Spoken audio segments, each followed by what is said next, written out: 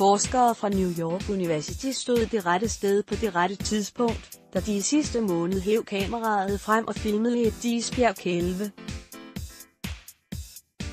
Det cirka 6,5 km lange isbjerg brækkede af en gletsjer i Østgrønland. I videoen kan du se, hvordan isbjerget river sig løs. Vi stod der alle sammen i stillhed og indså, at vi var ekstremt heldige, fordi vi så en så kraftig hændelse fra naturens side, siger Denise Holland til DR Viden. Hun er logistikkoordinator for New York University's Environmental Fluid Dynamics Laboratory. Læs også, varm på is, rekordlar og mængder havis ved Arktis ifølge Denise Holland skyldes kælvningen varmt vand i fjorden, der gør gletsjeren nu stabil. I fremtiden vil global opvarmning muligvis gøre vandet i fjorden endnu varmere, og det kan føre til større og flere kælvninger, siger hun. Isbjerget er nøglen til at forstå vandstigningen. Det sker efterhånden ret ofte, at et isbjerg kælver.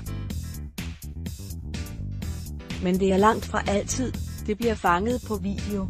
Optagelserne kan hjælpe forskerne med at forstå, hvor meget verdenshavene stiger.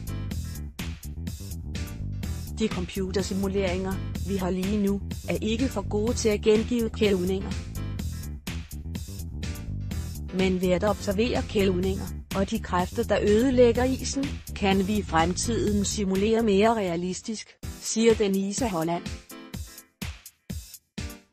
Derfor stiger vandstanden havvandsniveauet stiger, fordi vejret bliver varmere på jorden på grund af stigende udledning af drivhusgasser.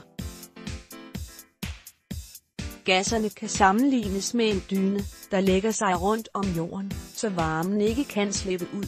Når temperaturen stiger, smelter varmen gradvist de kilometer tykke iskapper. Varmen gør også, at havet udvider sig, fordi varmere vand fylder mere end koldt vand. Kilde, Niels Bohr Instituttet, læs også, mudder afslører, fortidens Grønland var overraskende varm, når et isbjerg ryger ud i vandet, stiger haven. I det her tilfælde sker det kun i et beskedent omfang, men det er nøglen til at forstå, hvordan havene stiger, fortsætter hun. Havene stiger og stiger der er efterhånden ingen tvivl om, at klimaforandringerne har en kæmpe indvirkning på isen i Arktis. Havisen bliver mindre og mindre, og forskere regner med, at den vil være helt væk om sommeren i år 2100. Læs også, blomstrende bjergtoppe. Antallet af plantearter vokser hastigt på tinderne. Det ser ikke meget bedre ud på den sydlige del af kloden. Forskere fra blandt andet DTU og Nansen-centret i Bergen har været med til den mest omfattende opgørelse af ismassen i Antarktis. Konklusionen er, at isen på Antarktis smelter hurtigere, end man regnede med. Mellem 2012 og 2017 har kontinentet mistet 219 milliarder ton is årligt.